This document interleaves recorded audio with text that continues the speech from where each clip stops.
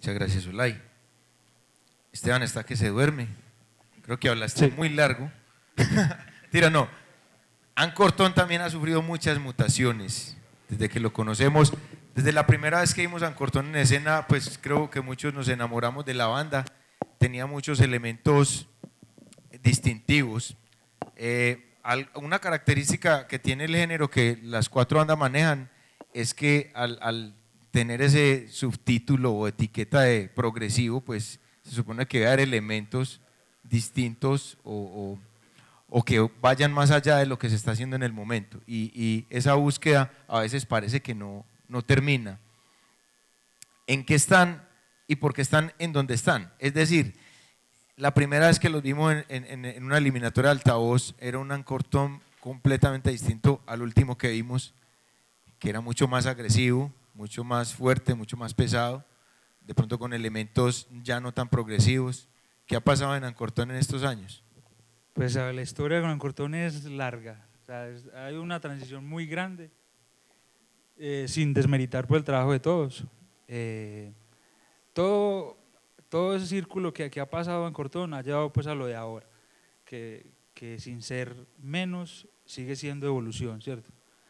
Eh, hermano, hemos tenido varias alianzas, como usted lo ha visto, con dos vocalistas, eh, venimos de un género progresivo donde teníamos muchos eh, compañeros de academia, entonces venía pues la parte musical estudiada, por decirlo así. Y hermano, y Desafortunadamente, en una banda hay que tener en cuenta que uno debe tener primero personas y después músicos, porque lidiar con, lidiar con, con, personalidad es muy complicado, o sea, molesta a la novia, ahora vamos a estar cinco manes o siete manes. ¿Qué puede pasar en una banda donde son marido y mujer? No, no, no, no, no, yo no la tengo ahí. Preguntémosle a Toño. No, mentira, no, eh, ha sido una evolución muy bacana. Eh, Ahora, ahora andamos en un, en, un, en un asunto más metal, más al grano, más contundente. Llegamos, no, démosle un show a la gente, porque estamos haciendo, preocupándonos más por la elaboración de la música y dejando aparte el show. Y entonces eso, eso no, tiene que ser a, la par, tiene que ser parte y Pero, parte. Disculpa, te interrumpo, yo creo que de lo que yo visto, o sea, ustedes nunca han abandonado eso, o sea, para ustedes ha sido importante la puesta en escena desde que los conozco y eh, en los cambios de, person, de personajes y, y, musicales, pues siempre ha estado presente el, el, tema de la puesta en escena. Sí, o sea, eh, esa, la mentalidad empresarial la hemos tenido siempre, eh, de un organigrama, de tener en cuenta un montón de factores que suman a la hora de un concierto, a la hora de una producción, a la hora de un músico, una presentación en vivo, todas esas cosas. ¿Qué pasa? Que ahora en, en, en, nuestro gremio en Medellín hay que darle más show a la gente que música. Eh, nosotros teníamos canciones de 7, 8 minutos, entonces es complicado manejar en un evento donde la gente va a divertirse. Eh, hermano, no, o sea, no lastimosamente, o sea, todo ha pasado por un beneficio de todos, de los que no están y los que estamos. Ahora somos, somos menos, eh, somos más, tenemos más control la situación a nivel de banda. A nivel de banda, dimos con un filtro de personas muy enfocados a, un mismo punto, que es lo difícil porque uno un músico en Medellín impresionante, pues uno no, todo el mundo son súper tesos, eh, pero sentar a cinco personas y que diga esto va para allá, de acuerdo todos, es complicado. Y vamos muy bien por ese lado. Y, no, ahorita tenemos la banda muy estable, estamos grabando eh, nuestra producción tan anhelada de tanto tiempo. Estamos terminando y muy, contentos con este evento porque personalmente Metal Medallo es, es, es mi casa porque es de, de mis primeros conciertos bacanos. Y ahí conocí a Cortón, vine con una banda que tenía que llamar Talion, y con bandas que siempre hemos querido tocar, con Terrazo siempre hemos querido programar algo, con Instrumental hemos programado algo, con Cusaxo ya hemos hablado algo con, con el batero y hermano, muy contentos con este evento. Bueno, eh, como dato curioso, esta programación pues no fue tan fortuita, de alguna manera mm, la trabajamos con las 96 bandas, es decir, las bandas decían, no, vamos a trabajar por géneros. Entonces ya no tuvimos tanto en cuenta las fechas como hacíamos en... Y, tuve el apoyo de otros dos músicos. Esta vez no me senté yo solo a hacer la programación, sino que eh, el señor Toño Guerrero estuvo a bordo y Alex, vocalista y guitarrista de Blasting Hatred, también nos acompañó en esa, en esa organización. Entonces fue, fue muy interesante porque cada vez que terminábamos un cartel, uy, qué chimba. Y el que sigue, uy, qué chimba. Entonces todos nos parecían muy brutales y, creo que eh, la apuesta de Metal Medallo este año estaba muy bien enfocada en cuanto a, en cuanto a una propuesta de concierto. Eh, vamos entonces a hablar de eso que le falta Metal Medallo. Ese es como, digamos, el, tema que, les traía hoy a la mesa. Y, pues yo quiero que empecemos con live porque ella, inclusive ya antes de, sentarnos, ya me estaba diciendo, bueno, ¿qué vamos a hacer? ¿Qué vamos a hacer con esto?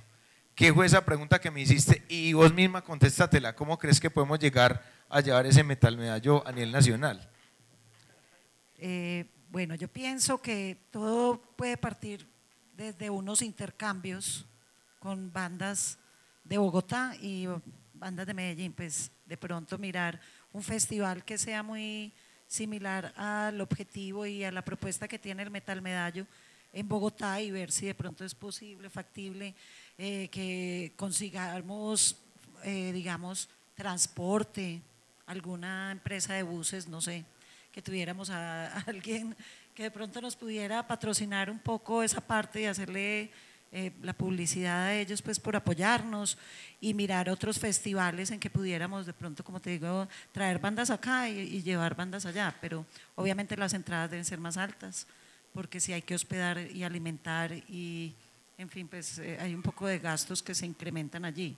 Entonces, podría ser eso. No sé, eh, me encantaría que el Metal Medallo se pudiera llevar a Bogotá, a Cali, o sea, varios escenarios del país e incluso más allá. Ojalá lograr, lograr llevarlo a Ecuador, a México, a Venezuela, a Argentina. Juan, ¿vos, ¿vos crees que eso es posible a sabiendas que no hemos consolidado el festival ni siquiera en la ciudad? ¿Qué piensas? Pues, o sea, yo siempre he tenido como, como cierto eh, conflicto como con la escena y, digo yo, pero también veo que mucha gente se siente como identificada como con esa parte, porque aquí todos hablamos de apoyo, que el apoyo y que el apoyo y que sí, que todos quedamos los toques, pero a la hora de, de, meternos la mano al bolsillo nos cuesta mucho, mucho, a todos. Entonces, eh, pienso pues que Metal Medallo eh, se, ha, se, ha, consolidado, pues mira lo que decís que 96 bandas, eso es una convocatoria que, que habla mucho.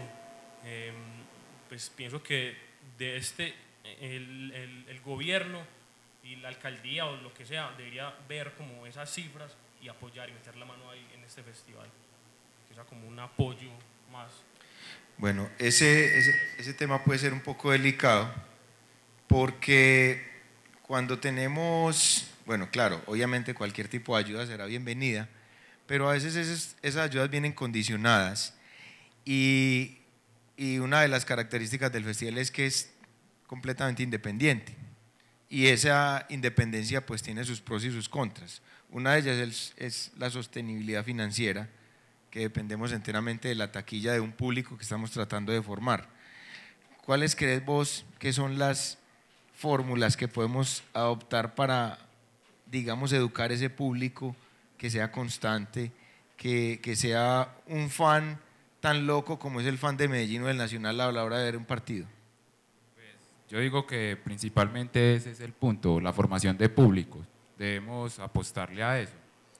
¿Qué pasa? Que eso de alguna forma se le sale de las manos al festival, porque el festival está haciendo parte de ello en cuanto está pidiendo una entrada, pero hay muchos festivales en la ciudad que son gratuitos. Entonces, el público, eso como que no le cala al público, no le queda, porque si hacemos en proporción festivales grandes en la ciudad, son más los que son gratuitos a los que son pagando. Entonces yo digo que es más enfocarnos a no, no tener entradas gratuitas, tener entradas cobrando. Primeramente con un precio bajo, pero eso va a ir en aumento. Como por ejemplo lo que está pasando con Del Putas, que anteriormente era gratis y en esta versión ya va a ser con una módica suma. Bueno, eh, esa formación de público es lenta. Es decir, los procesos en general, sobre todo los culturales, son a largo plazo. Y ahí es cuando entra, digamos, la paciencia y la entrega de los grupos, porque eh, muchos de las bandas, por ejemplo, no le apuestan al proyecto porque esperan tener una retribución económica inmediata. ¿Cómo, ¿Cómo crees que podemos suplir esa necesidad de dinero de las bandas, Esteban, en el, en el festival, con el festival? A ver, pues hablando del festival, o sea, eh, desde, el inicio de Metal Medallo, el valor agregado es que desde el inicio se ha dado la pela de, de cobrar. Y cuando Metal Medallo estuvo quieto un tiempo, la gente lo extrañó y lo pedía, y la gente preguntaba por, por, por el evento. Entonces ya hubo un avance, por decirlo así, aún, aún la gente sabiendo que es cobrando. Hasta donde yo sé, no recuerdo que alguien diga, no, pero es que debiera ser gratis. Bueno, y, y, más con la competencia de eventos que, que en, toda la, en todo el país son, por todos son eventos gratis. Lo que pasa es que muchas muchas bandas pensamos de que, de que, que, de que multitud es cantidad. Y, y, si, y si yo voy a un evento donde hay 20 mil personas, donde las cuales ni la tercera parte lo conocen a uno o no les gusta lo de uno, no, pues no es tanto. Ahora que vengan 100 personas a verlo a uno, pagando, son 100, son 100 fans, son 100 personas que van a hablar bien de uno, del festival, de, de, de la banda. Aquí toca seguir poniendo el grano de arena de todos. Eh, nosotros aportando como música, eh, dándole la pela de meter muchas veces de nuestro bolsillo para que el evento salga. Y no apostarle a eso, hermano, a, a hacerle publicidad y a darle credibilidad al festival y llevarlo a la idea que lleva Zuley, que me parece muy buena y no me parece muy lejos de lograr. Bueno, el, el siguiente ejercicio consta en, en, hacer una evaluación, digamos, negativa, porque cuando vemos los aspectos negativos es donde podemos superarlos. Entonces, en el orden en que estamos sentaditos, pensemos empezamos contigo Juan, eh, ¿cuáles son esos dos puntos que vos crees que debemos de superar inmediatamente para que el Metal Medallo sea eh, ese festival óptimo para nuestra escena metalera? Pues indiscutiblemente lo que estamos hablando acá es la formación del público, ¿sí o no?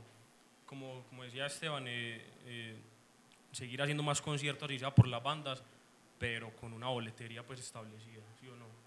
Eh, otro punto también es que mm, o sea, ahora sí se está viendo más que las bandas están trabajando como en, como en grupo, pero siempre ha existido y, y, y, existe en ese momento mucho radicalismo. Pienso que también hay que como acabar con eso para salir adelante todos juntos. Cuanto a lo que dice Juanfer de la formación de públicos, me parece un punto importante hacerle buena publicidad y con mayor anterioridad, por ejemplo, a espacios como estos el público no solo se forma en un concierto, también se forma en estos espacios donde pueden dialogar con el artista de una forma más, más tranquila, no con el, con el furor de un concierto. Esto podría ser un buen espacio y un buen lugar para formar públicos con mayor anterioridad. Es decir, ejemplo, fortalecer los conversatorios. Me parece un buen lugar y un buen nicho para una, una buena formación de públicos. Eh, bueno, yo creo que lo que se está haciendo ahora con los digamos, las transmisiones en televisión es un punto a favor del metal medallo. Lo que no sé si esto es nacional o esto solamente es acá a nivel local. Como, como te contaba al principio, ¿está? estamos en el boceto, estamos en los... Es un boceto, bueno. La idea sería llevarlo a nivel nacional. ¿Por qué? Porque pues en esa medida vamos también trabajando de una vez la otra eh, proyección pues del festival, que es llevarlo a otras eh, ciudades. Eh, pienso que los afiches físicos son fundamentales. en esta ocasión, pues no los hemos recibido todavía, estamos a semana y media ya del evento. Por lo menos un mes, dos meses antes deben estar los afiches y ojalá pegados en toda la ciudad, en todas las universidades, colegios, para, pues así se monten dos eventos, pues de todas formas habrá quienes elijan el uno, quienes el otro, quienes hasta asistan a ambos, pero hay suficiente tiempo pues para hacer una buena difusión. El otro es que estos conversatorios de pronto podrían hacerse en lugares eh, donde hay mucha gente, pues eh, digamos lo que son las universidades, como para atraer también a, otro, a otros personajes que de pronto no son del género metal, pero que han sentido como curiosidad por conocer qué es el metal o qué, pues, qué se hace en otras eh, tendencias musicales, como este programa, pues sería bueno como también para quitar esa imagen ante la sociedad, pues de que el metalero es un ser agresivo, violento, desadaptado, pues que es lo que la gente que no conoce a personas pues como tan eh, preparadas. Me parece a mí que el músico metalero es demasiado preparado, es más exigente que muchos otros géneros y eh, muchas veces más culto, más respetuoso y más tranquilo que muchos otros géneros, pero como no, precisamente todo es como tan underground, entonces de pronto hacerlo más abierto en lugares públicos, pues que la gente pues pueda como eh, tener más acceso y haya mucha más gente escuchando, así no sean del género, una forma de pronto de, de eh, sensibilizar al público con esto. Mm, ya, creo que pues de todas formas lo que se ha hecho está bien y contrario a lo que tú dices de que no está posicionado el evento, eh, pienso que sí está posicionado, todo el mundo sabe qué es el metal medallo, quisieran tocar todos en el metal medallo, ¿cuántas bandas no se inscribieron? Pues, ¿o cuántas se inscribieron? 96. Bueno, de 200 que hay en la ciudad, 250 pues de este género me parece que es muy buena cantidad, eh, sabiendo que hay otros eventos, pues como el del Putas Fest, como el altavoz, en fin. Eh, es seguir para adelante, porque lo que hay que cambiar es el concepto de que hay que pagar. Eso no es porque el proyecto no esté en sí posicionado, sino porque es una conducta de toda la, la gente acá. Queremos todo gratis y no sé si es que la situación económica está muy complicada en la ciudad, pues, pero no sacar 12 mil pesos y que a veces nos cuesta sacarlos, eh, creo que el problema es de otro tipo, no de no estar posicionado ¿Y Esteban? Bueno, yo creo que el problema de Metal Medallo somos nosotros. Todos queremos tocar y ninguno queremos asistir. Porque si todas las 96 bandas vinieron a todos los conciertos, no habríamos un parche brutal. Aparte que paríamos súper, pues la taquilla sería muy buena. Entonces uno dice, hey, parce, cae. A uno dice, cae. No, parce, es que yo es que, es que, ¿qué es? que, qué es? que, qué es? que Entonces eso pasa. Y el asunto es que en Medellín estamos, o sea, el público, casi todos son músicos, todos tienen banda. Entonces es muy complicado, o sea, uno, desde mi parte personal, porque yo soy mal asistente y eso es, y eso no solo yo, yo creo que eso es en la mayoría. Entonces, eh, la parte de, difusión es un asunto que ha venido eh, creciendo asunto que ha ido mejorando y mejorar y siempre haber punto a mejorar de la parte logística. Pero si uno se pone a analizar del primero ahora, pues el avance es notorio. Pero el punto negro somos nosotros, hermano. Bueno, muchas gracias. Eso fue todo por hoy. Un aplauso para nuestros participantes. Muchas gracias por estar esta noche con nosotros.